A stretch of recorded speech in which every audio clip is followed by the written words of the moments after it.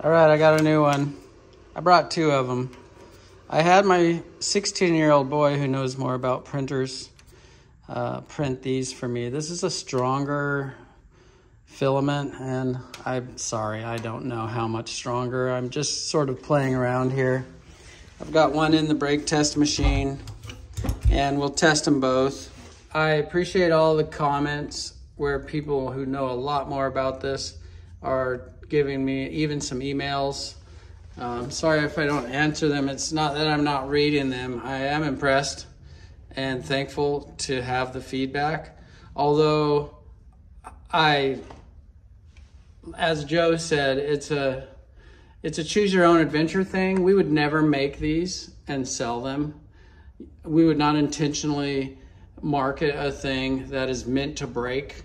Okay, it's just like I just feel like that's on you to figure out a way that you should go in that way, whether it's a zip tie or somebody suggested a key ring. Maybe we'll try to break test a key ring, um, a little piece of paracord, whatever it is. Uh, I'm just doing this for fun. And I do a lot of things just for fun, just from an inquisitive, curious nature. So let's see if I want to get, I think my last one broke at 255. Was it 255? 255 says my personal assistant. So let's see if we can get past 300.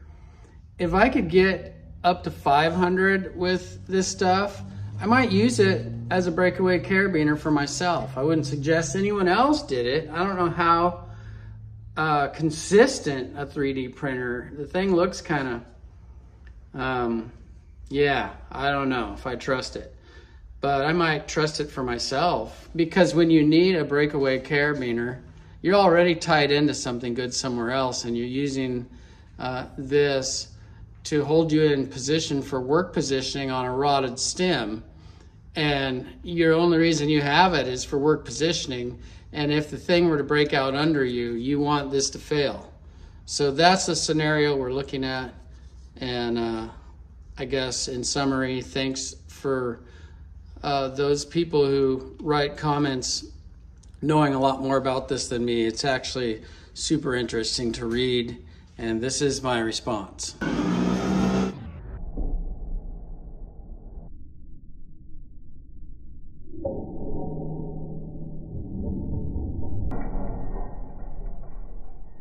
So again, right at where the threads start. People talked about that in the comments about how if there's any sharp edge on plastic, that's where it breaks.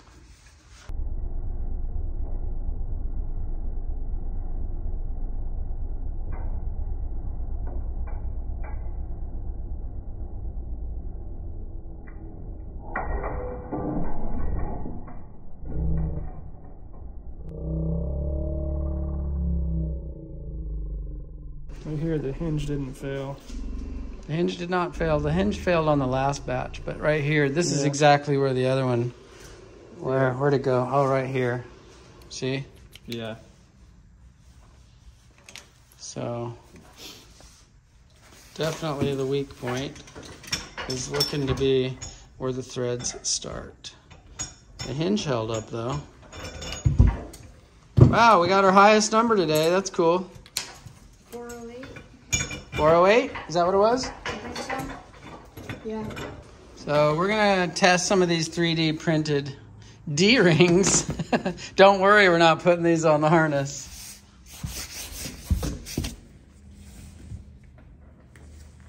What kind of plastic is this? Um, that's PET G that's been annealed. PET G yeah. annealed. 200 degrees for uh, two hours? Uh, something like that. Go ahead. Okay.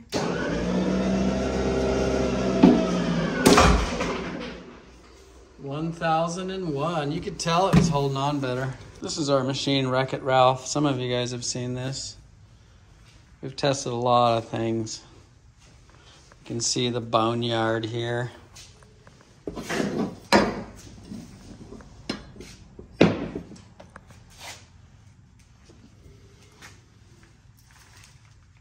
So this is a little thing Joe made right here. that is for mounting our accessory Ds on the harness. These used to be put on with a three bar buckle and it wasn't as strong as this 3D printed gadget right here. And we're gonna test one of these right now.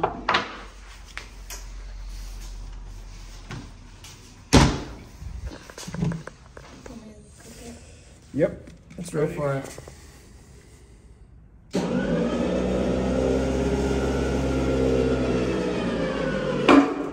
Keep going. 2453. Don't hang anything on your harness greater than 2,000 pounds. Oh boy. Uh, let's see what actually happened because I've been breaking my. No, it broke the plastic. It broke the plastic this time. Yeah. Um, that's not even it though. That's something else. It went everywhere, man. Oh, there it is. Oh no, it didn't break. It didn't break. It bent it. That's uh, That's got elasticity. annealed PLA. Annealed. Wow. That's got elasticity, man. Yeah. We got a carbon fiber one. Carbon fiber. Okay. Well, how how's the webbing doing? Webbing's Might not be fair. Let's do a regular PLA to see what the strength difference. Here's the one that's not annealed.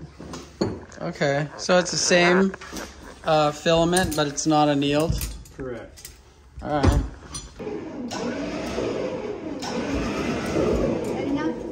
That'll work. What Joe was saying here off camera a minute ago was this method of hooking our accessory Ds on the harness is just a better way of doing it than the three bar way. It's not about making it super mega strong, although it is super strong.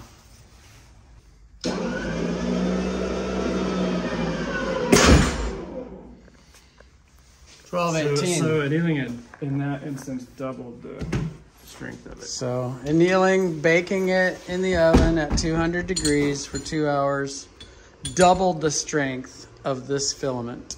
But it didn't break. 1,200 pounds though is still about 1200 is plenty. four times stronger than the current three bar buckle we're attaching them with, Yeah. which doesn't actually break. It just slips out of it hmm around four or 450. Yeah, and your your heaviest saw you're gonna hang on your harness is what, like 20 pounds? Yeah, and most people aren't even hooking saws on this. This is like carabiners and speedline slings and Right. just kind of your everyday accessories. Because we make a chainsaw lanyard attachment point that's not this. Well, I'll show you guys who are the audience. I'll show you what it looks like on the harness. The thing we're testing here is not a life support system at all. So this is what we're talking about as an accessory. The D rings, these are just for hanging speedline slings and gear on. That's why they're red. Yeah, this is the old way works okay, but it's more complicated to put on. You gotta be able to master the the three bar buckle and you know work it back through. Not for life support. Whereas these, you just put this through the loop, and then you just shove this pin through, and it's not only stronger but easier to put on. Nice and snug. You can get these nice and snug too, but you got to know how. These are no brainer. What's this one? Uh, this is a composite PLA carbon fiber. Composite PLA carbon fiber testing.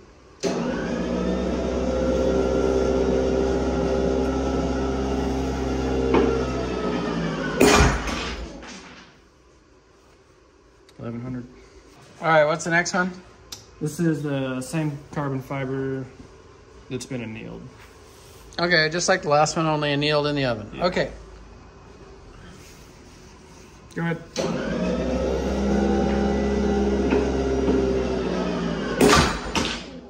Not much difference there. So I didn't change the carbon No. fiber much to bake it. No, it like like the PET G when you anneal it, shrinks up by about, I don't know, 5 to 10%, where this didn't change at all.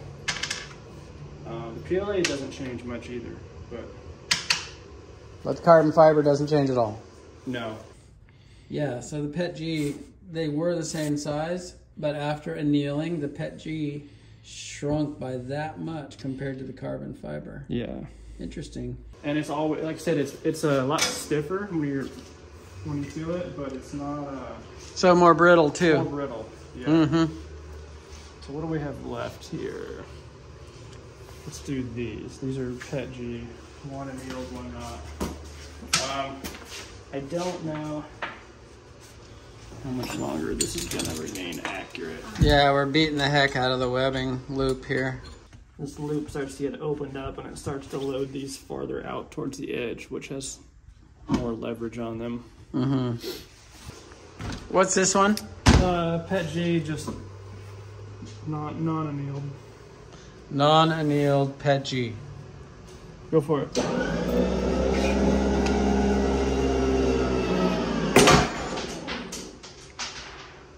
Seven eighty-two. So that was eight hundred pounds, basically. Okay, go ahead.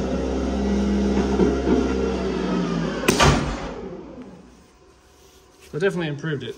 Yeah, so annealing definitely helps the PET G. So PLA is the winner. It, it gets a bad rap because it's the cheapest a lot of times. PLA. PLA and um, people always want the thing that's more expensive, but Right. it's not necessarily always. Sometimes the simple answer is the right answer. So it's the cheapest and the strongest. Uh, out of these, Yeah.